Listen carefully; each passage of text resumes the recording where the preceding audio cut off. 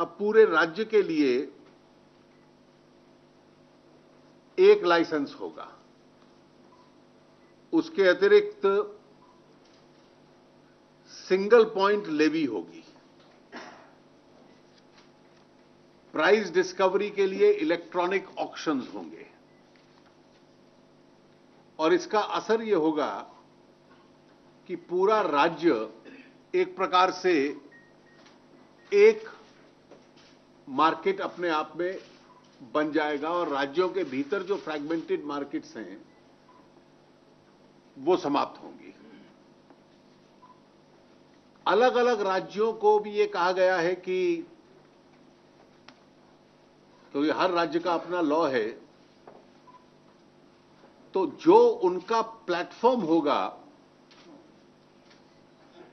वो एक दूसरे के साथ मिलता जुलता होगा।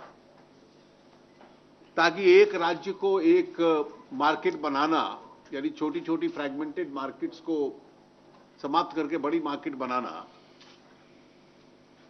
कि seamless transfer of agricultural commodities in the state can take place जिससे किसान के लिए बाज़ार का साइज़ बहुत बढ़ेगा।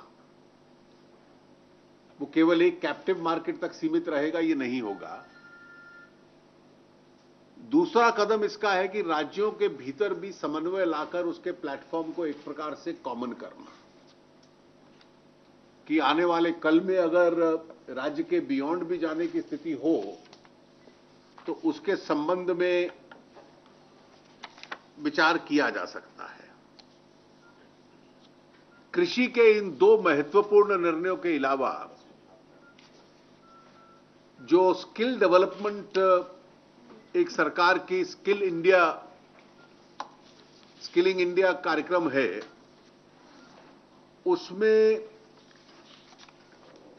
के संबंध में भी कल महत्वपूर्ण निर्णय हुए हैं। एक निर्णय है कि national policy for skill development and entrepreneurship 2015 इसको अप्रूव किया गया है। Common norms for skill development schemes implemented by the government of India